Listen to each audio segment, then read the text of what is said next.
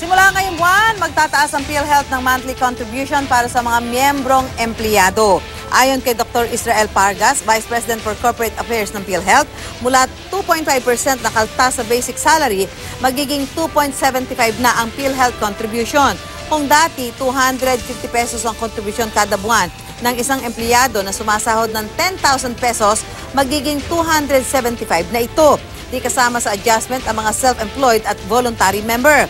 Ayon kay Pargas, kailangan nilang magtaas ng monthly contribution para magpatuloy ang kanilang serbisyo. Wala raw itong kaugnayan sa implementasyon ng train law. Handa naman sumunod ang Employers Confederation of the Philippines o ECOP sa pagtataas ng kontribusyon. Pero sana raw, imbes ganito ang gawin, babaan na lang ang presyo ng gamot at patatagin ang medical system sa bansa.